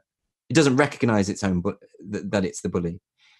And um, Titania is an effort to expose this bullying and to stand up against bullying because I hate it. Um, and ironically, then I am accused of of bullying, and the reason for that is the bullies believe themselves to be the underdogs in this case. Yeah, I, I, that's why I see a, there to be a profoundly positive vision behind all s- true and effective satire, and that to be true in your case. And, it, and again, it comes back to these to an underlying vision of what the real is that truth is not subject to power. And that's why to take a standpoint of courage against bullies, it's not a calcul- it's not a power calculation. It's not no. it's not one in which you say, "Oh, I'm going to win this fight." Well, you may lose. I mean, you might be taken out. You can be you can be killed by a bully or or disenfranchised or whatever. But to actually speak truth to power is precisely to put your faith in the transcendence of truth itself, which is not subject to power. And there's a lot. You're already trans. So you're transcending the dominant uh, zero sum nihilism that is at work precisely by standing up and pointing towards a principle that transcends power. And there's a risk that comes with that, a very, a very great risk. I mean, we're seeing that manifesting in cancel culture, what we call cancel culture now. And uh, I've just written an article about this, about how I think we need to be braver. I think we need to, you know, when when when the HR department comes to us and tell us that we need to do these training courses to elucidate our own unconscious biases, and you know, we we need to say, well, actually, we need a conversation about whether this is effective or useful, or or you know, or I mean, I mentioned in that article a friend of mine, an actor friend of mine, she was her agent phoned her up and she said and, and said you haven't posted in support of black lives matter on your twitter account. You have to do that. That's compulsory because if you don't do that you're never going to get cast in anything again.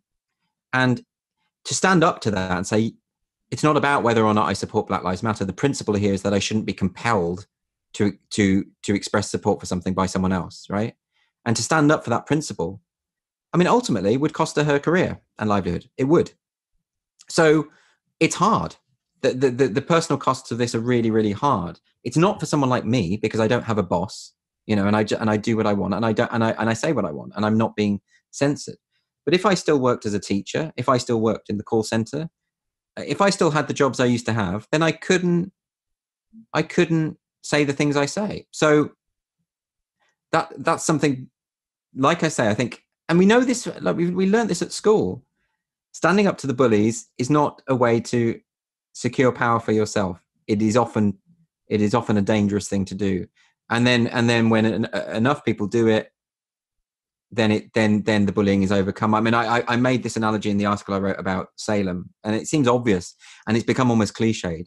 But look, the only reason they stopped hanging people is because sufficient numbers of those villagers started saying, "No, this isn't real. Is this? This is you know." Once the governor's wife was accused, they were emboldened. They you know they were able to do this, but but it came a kind of tipping point, and I think there's a similar.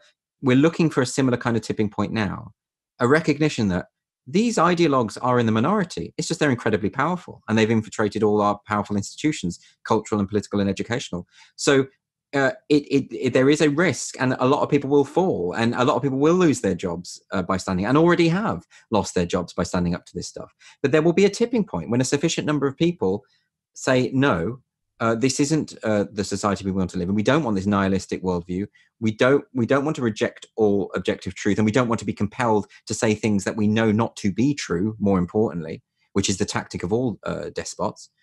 And when when sufficient numbers do that, then it will embolden the government, which has been completely uh, negligent when it comes to this, because they they they feel under the thumb of the, the of the of, of the influence of social justice activists as well.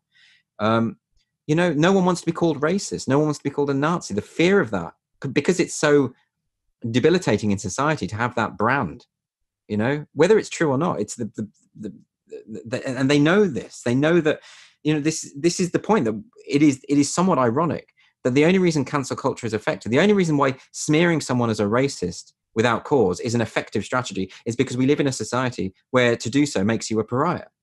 That uh, if it undermines their point they see racism everywhere. It, it's not. It's still. It's it's it, it. And the very fact that their their smearing campaign will have an effect is because they're wrong about this. It's, be, it's because we live in a society that doesn't tolerate racism. Not not because we live in a society that enables it. We absolutely don't tolerate it, and nor should we. This is very powerful, Andrew. The only way to resist total the totalitarian worldview that truth is subject to power is to speak truth with courage because Yeah. that truth speaking is the only antidote to the nihilism that would coerce you into not doing so. And the only way we can preserve a space for human beings to flourish is to speak the truth without fear. Absolutely. You wrote a wonderful piece recently on critical thinking and uh, what it means to be a critical thinker. Um, of course, what is called critical thinking today in many universities is really just uh, conven- conventional forms of ideology that are digested uh, uh, hook, line, and sinker without any critical capacity whatsoever. And so, what are called critical studies are very often profoundly uncritically accepted. Yes, they are. So, what I want to ask you about is how you you think independence of mind, a genuinely uh, critical cast of mind, can be cultivated. How how did that come about in your case? Did it have to do with your careful reading of the history of literature? Uh, uh, what were the uh, generative or transformative moments towards your developing a subtle, a nuanced standpoint in relation to the complexity of reality that was not simply doing what others said or feeling you must do what they say? I think it's partly instinct and part part experience. I I think um, I, have I've always been sort of questioning uh, uh, when I'm told something, but maybe that's because my background. I, I don't suppose that was always the case. Thinking about it, I mean, maybe it's to do with coming from a, uh, religious background. Maybe it's to do with with um, uh, where I, I suppose in order to have an objective view of identity politics and the damage it does, I think it helps to have come from a background where identity was very important to you. I think I, uh, my identity as a Catholic, for instance, I think was very important to me, particularly up until the age of 18. I think going to a convent school and all those sort of things and, and, and, um, you know, it has real meaning for me and it still does. And I think that's, so having an awareness, here's what I mean, having an awareness of the allure of being part of an identity that is more than yourself is a good it, helps you to understand where this is coming from i think certainly in terms of gay identity I, I you know for i was very much part of the gay scene at a time when actually you would still say it in under hushed tones you know and and i understand the allure of that as well. There's something quite thrilling about feeling that you're part of a group uh, and that and that and that you're part of a group that more more more than that that is that is victimized. There's something quite thrilling about it um, and and appealing. And so and so i do understand the identitarian worldview because i think i have to a degree experienced it. Um, and i and i think we all have. We all we all understand that idea of of, of the comfort that comes from from feeling part of a group and uh, but then I think I, I, the more I read, I think the way out of it is reading. The more I read about it, the more skeptical I became about it. Um, I I was never.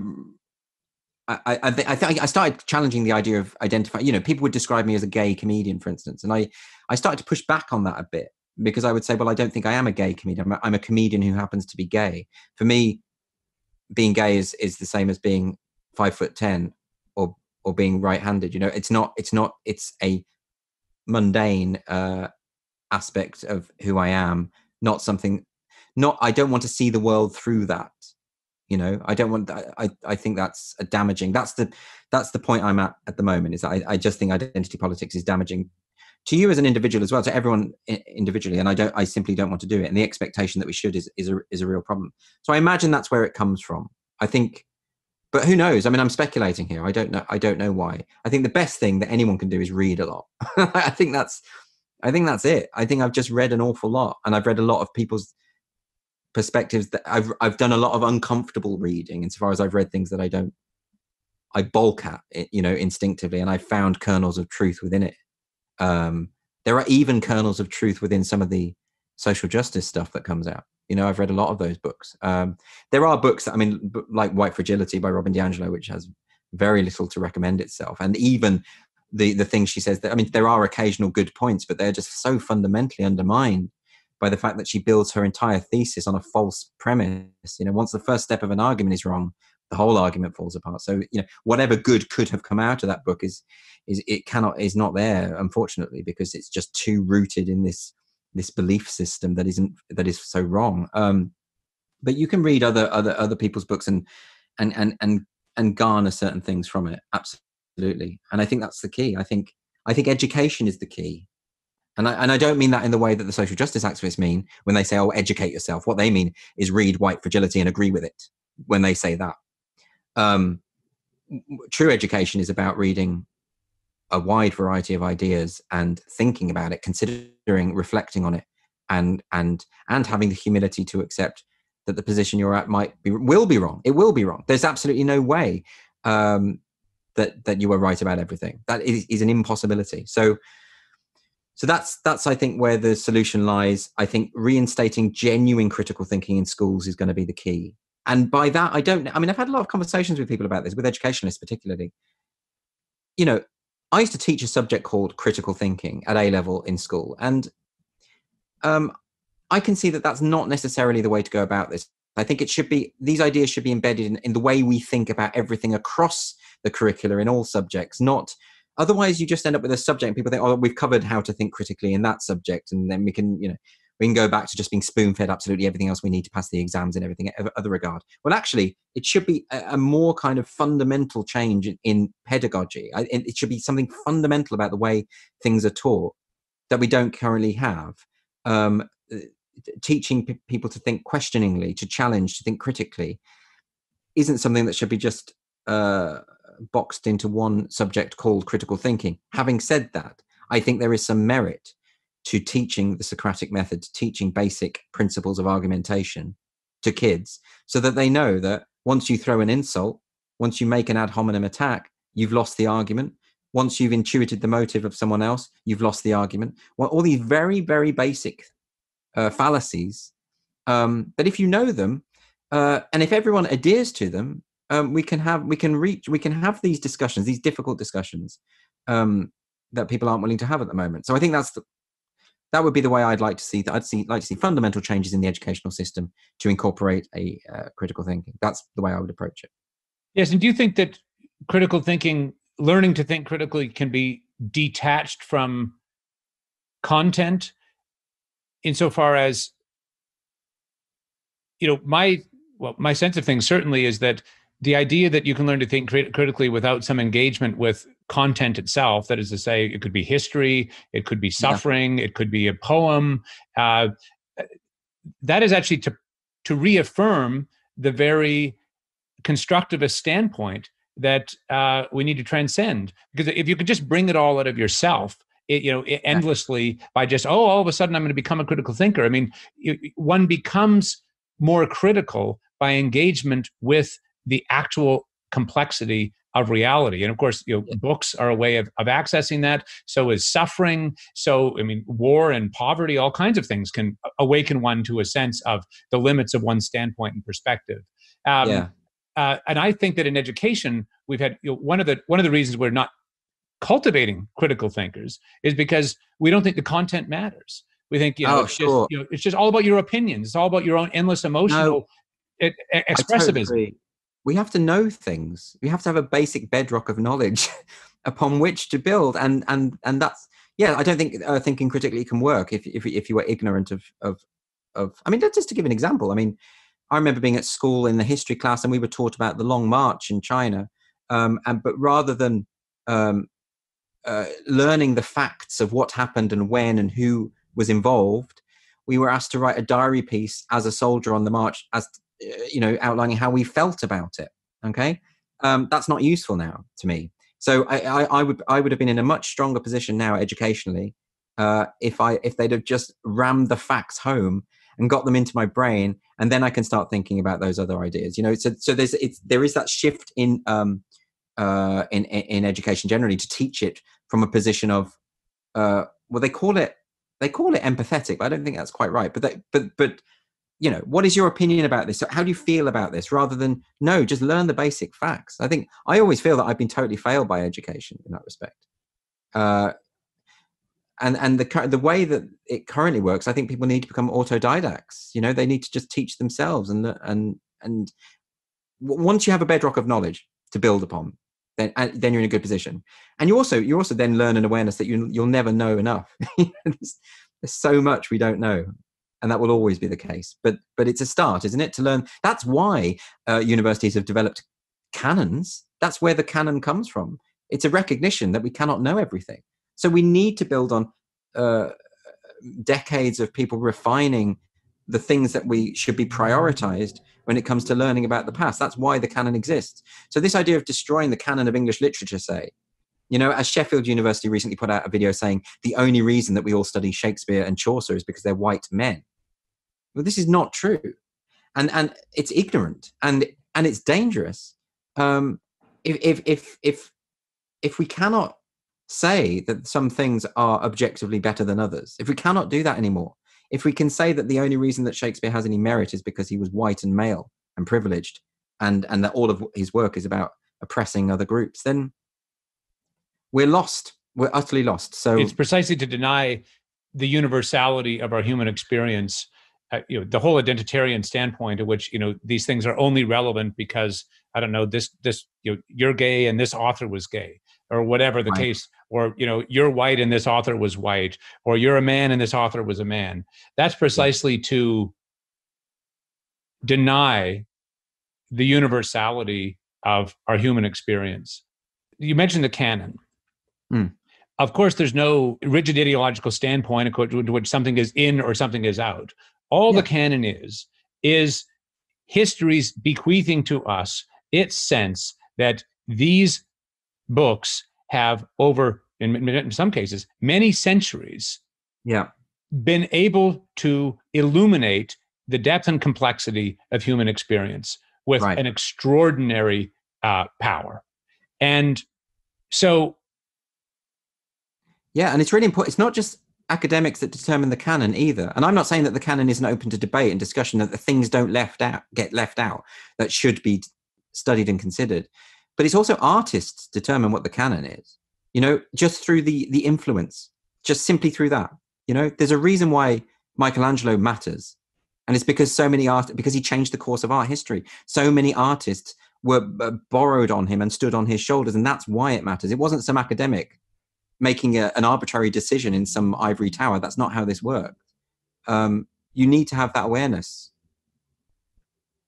yeah, well, the the the the evolution. I mean, that, that's why there's an objectivity to these things. You know, yeah. sh- sh- it, it's it's not simply. Uh, uh, I mean, the whole the whole idea that Shakespeare's only there because he had a certain powerful stature or whatever is precisely yeah. an expression of the standpoint that there is no underlying truth whatsoever. Uh, it is, yeah.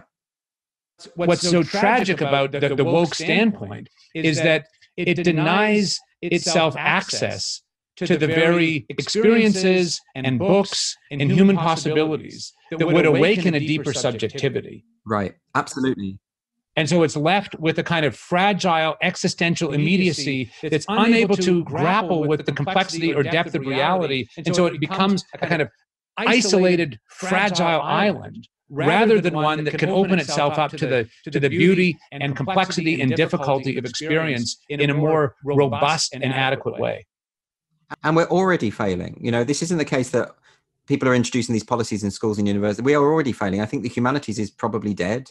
You know i think i think it's already the rot has already set in and we are we are not precisely what you say we are not helping people to people will be unable to experience subjectivity in existence in the way that they should because of these measures that have been that have been taken. It's like roger scruton used to talk about how you couldn't you, people who don't appreciate classical music they don't understand what they're missing because they don't they it just isn't there for them. So they don't realize that this is a big deal that that, that they haven't had the necessary training uh, you know and that's and that's the way i feel about a lot of things. That's why i say i feel like i've been failed by education. I feel like you know when i've read enough about certain things when i've experienced certain things in a way then i then i start to realize what i had missed and what i would be missing if i hadn't uh, explored a little more and and i and I feel very sad about that. And I and that's why I think it should be a priority. Um, and not to not to I mean it's being it's being dismissed as elitism, this idea that that teaching kids Shakespeare, that's a form of elitism because they don't understand it. Well, of course they don't understand it. That's why you teach it. To them and then they learn an understanding of it and then they and then uh, ultimately the hope is that they that that informs the way that they see the world and and and it's the opposite of elitist actually. Because what you're saying the opposite is, of elitist. Because what you're what you're saying is that this you know poor kid in inner inner city chicago or whatever she is capable of understanding the depth of human experience in herself. Right but if, we want to give this to her that, so she can do that right but if and if you said well that, this this black child can't understand shakespeare because he's white if you inaugurate that kind of racialized worldview um, then then you are doing something deeply damaging to humanity, but also particularly to that child. You know, it's it's not, and it's it's it's just experientially unsound anyway, because we all know that as children, when we were left to our own devices, we often did empathize and read things that had nothing to do with our own. I didn't just read stories about white gay boys. You know, it's not it's not the way that that that, that worked. So yeah, I think that's something that we need. I mean, in London, there's a school Katharine Birbalsingh, you may know the headmaster mistress of the Michaela School. I know of she, her. But I don't, been, I don't, know her personally yet. Well, she's been writing an awful lot about this, about how a lot of schools are now teaching. If, if the school is predominantly black, they'll teach the kids Stormzy rather than Shakespeare. They because they think that a black child can't engage with Shakespeare. It's the bigotry of low expectations. Well, so well yeah, teach- it, it's actually racist. It's a profoundly it's racist, racist right. bigoted standpoint. Right, but it's but it's couched in the in the terms of anti-racism. Again, this is the problem. It's the exact opposite of what it claims claims to be. And I think civilizationally, we're not at the high point. Let's be honest. we, we, it needs to be this anti-elitist thing where everybody has access to art, and more than access to art. I mean, we do that. We, you know, the art galleries in London are all free, that kind of thing. But do people have the have the means and the education to appreciate what what art is? Do we have? I mean, I can't help but th- I just read um recently. I read um uh, uh, Benvenuto Cellini's autobiography. So he's the sculptor, the Florentine sculptor. that's a gold. that's a that's a that's a wild book if ever there was one. He was a oh, it's amazing. I know he, it's crazy. That's an adventure story, if anything. It's crazy. I mean, he killed a bunch of people. He got revenge on the death of his brother. The guy who killed his brother, by the way, was acting in self-defense. But but Cellini then had this blood rage and had to go and kill. Not a nice guy. Okay, so let's just say that. But the point, the point is his account. There's a moment in it's it's shortly after it's when he's um when he's making the Perseus. So you know you, you, the, the, the the bronze statue that's still in the Piazza della Signoria in, in yeah, in of course, yes, yeah, and, yeah, yeah. I know, you know, I'm not assuming, but it's it's here's a really good example of this actually. So when I was younger and I saw that statue, I was immediately drawn to it, but I didn't really know why. And and having read more about it and more about art generally of that period, my experience of it is so much more immersive and and and and uh, and and stirring, you know. And I think that that only comes. But the reason I mentioned that book is because there's a moment where he's talking about the unveiling of the Perseus in the square, and the people who gathered there across all backgrounds and classes, and uh, they applauded and cheered this this this unveiling, and were posting sonnets to it, sonnets of uh, in, in praise of, of this work of of art. There's a kind of discernment there and that's by the way it's not just the posh people there's working class people it's everyone. There's a kind of broad cultural discernment there that comes from a healthy culture. I'm not saying there weren't problems with that culture what i'm saying though is that when it comes to art if we could cultivate that kind of thing again if that i mean it couldn't happen now could it? You can't imagine. For a start you wouldn't get a, a statue of that quality being unveiled in central london would you? I mean last week we had a a, a, a, statue of an ice cream with a fly on it uh, being unveiled on the fourth plinth in, in Trafalgar Square. And you don't get people, for a start, the artwork isn't good enough, but you don't get people crowding around and cheering this contribution to our artistic culture. This doesn't happen anymore. I think we've lost something. And I don't want to romanticize the past and say everything was great. I mean, you can't do that if you read Cellini's book because he's such a does such despicable things, and these things were normalized. you know, let's not forget that you know he was only able to write the book because he was under house arrest for uh, sexual misconduct. So you know, I'm not trying to romanticize it, but what I am saying is, when it comes to artistic appreciation, wouldn't it be amazing if we could reinstill that that sense of awe that comes with great art at a young age into children, and not divide them up on the basis of race and saying that your only experience of art and enjoying art is going to be to what extent it reaffirms your existing worldviews if we could do that, then we might have a statue being unveiled in central London and crowds gathering and cheering and posting sonnets to it. Who knows? But I just think that's a beautiful ideal if we can reach it. I, I get excited when I hear you speak this way because uh, I profoundly believe that uh, the time, as as as bad as things are on Twitter, and as hmm. rancorous as so much of our public discourse is, I profoundly believe that the time is right and ripe for a recovery of a more adequate sense of what human beings are and their relation to what's real. Yes. That precisely the irrationality, the heightened, fevered pitch of the discourse. I mean, when you have the most popular children's author of all time being reviled in this silly Twitter sphere for yeah, yeah. essentially a, a, a, asserting a basic fact of nature, you know that that discourse has become so untethered from the basic terms of human existence that yeah. it's it's lost its spiritual integrity its spiritual intellectual integrity yeah you know when that happens that the standpoint is is uh, in a kind of writhing empty last stages and yeah. so i actually think there's a certain I, I, I, in a certain sense titania's popularity is itself a reason for optimism because it means yeah. that a lot of people are seeing the contradictions that Titania is pointing out. But what I don't think is that we should be passive relative to our institutional life educationally politically culturally artistically et cetera and that's that's fundamentally what ralston college is about because yeah. we believe that unless there are institutions uh, with an absolute commitment of freedom of thought determined to understand the depth and nature of reality in all of its fullness that we can't possibly have the forms of culture I, I, get it i get it because what you're saying is, is right that ultimately it's probably going to have to be private institutions people you know if if if the rot has so far set into to the government and and to education as it currently stands it's going to have to be people taking the plunge and setting up and the reason why it'll work is because people are hungry for it. People are people are hungry for that educational bedrock. People are hungry to be able to think for themselves and they and they they can even even those who, like myself who was not educated well i don't think. Um and i'm not i'm not denigrating my teachers. I think that's because of the system. I still knew i was missing something. And i think people do feel they're missing something. And and that's yeah.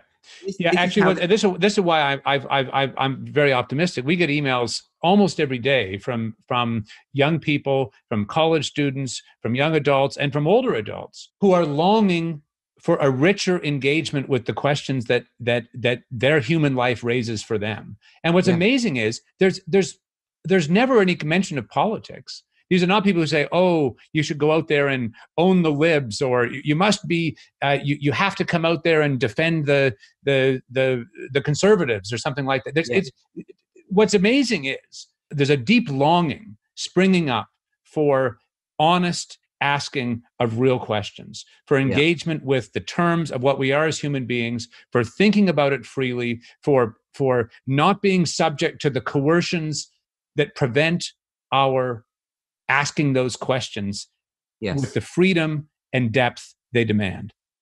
I think it's I think it's a fundamental aspect of humanity. I think we ha- we all have it, and that's why there is cause to be optimistic. I think.